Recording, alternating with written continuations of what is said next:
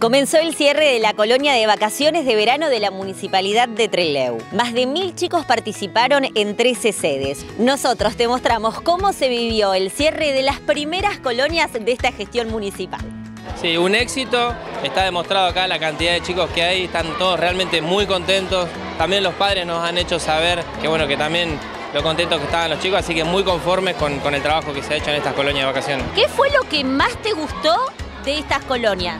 Los juegos, como la guerra de agua, la mancha. ¿Hiciste amigos nuevos?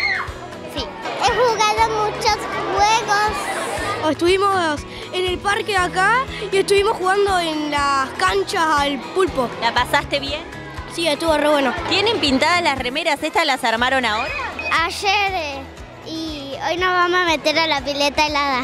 Hay muchas ganas de meterse al agua, ¿no? Sí. Y anduvimos practicando el acorio de que vamos a hacer eh, en ese día. ¿Qué lugar tiene el deporte en esta gestión y las actividades recreativas para los niños y adolescentes?